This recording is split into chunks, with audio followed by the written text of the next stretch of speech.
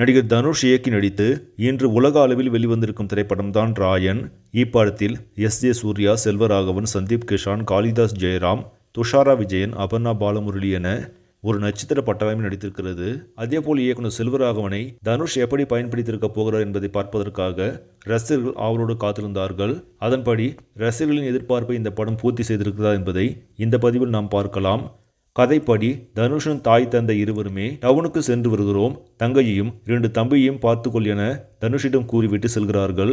ஆனால் இரண்டு நாட்கள் ஆகியும் இருவரும் வீடு திரும்பவில்லை.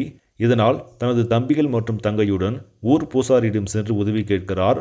அந்த இடத்தில் கைக்குழந்தையாக இருக்கும் தனுஷின் தங்கையை வேறொருவரிடம் விலை பேசி விற்க பார்க்கிறார் பூசாரி. இதை அறிந்து கொண்ட தனுஷ் பூசாரியிடம் சண்டை போடுகிறார். வேறு வழியே இல்லை என்ற நேரத்தில் கையில் அருவாள் எடுத்து பூசாரியை கொன்று விடுகிறார் தனுஷ். சிறு வயதிலேயே தனது தனுஷ் கையில் இரத்தக்கரை படிந்து வருகிறது. இதன் பின் அந்த ஊரில் இருந்து சென்னைக்கு தனது தம்பிகள் தங்கையுடன் செல்லும் தனுஷ் அங்கு செல்வராகவனை சந்திக்கிறார். செல்வராகவனின் உதவியோடு புது ஊரில் வேலை தேடிக் கொள்கிறார்.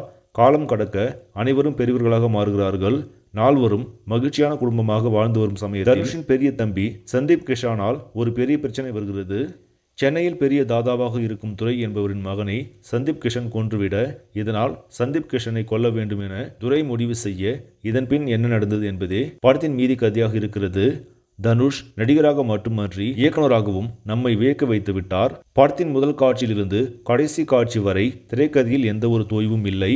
கதாபாத்திரங்களை வடிவமைத்த விதம் வேறு லெவல் குறிப்பாக துஷாரா விஜயனின் ரோல் மிரட்டுகிறது. துஷாரா விஜயனின் நடிப்பு தனுஷின் நடிப்பை தாண்டி பேசப்படும் அளவுக்கு இருக்கிறது. Villain S. ஜே. சூர்யாவை வழக்கம் போல் அடாவடியான வில்லனாக காட்டாமல் பொறுமையாக யோசித்து செயல்படும் வில்லனாக காட்டிய விதம் படத்திற்கு பலம். சென்டிமெண்ட் மற்றும் ஆக்ஷன் காட்சிகள் படத்தின் மிகப்பெரிய ப்ளஸ் பாயிண்டாக இருக்கிறது. ரத்தம் தெறிக்க தெறிக்க அனைத்து சண்டை காட்சிகளும் படமாக்கப்பட்டுள்ளது. குறிப்பாக இரண்டாம் பாதியில் வரும் கிளினிக்கில் நடக்கும் சண்டை காட்சி வெறித்தனம்.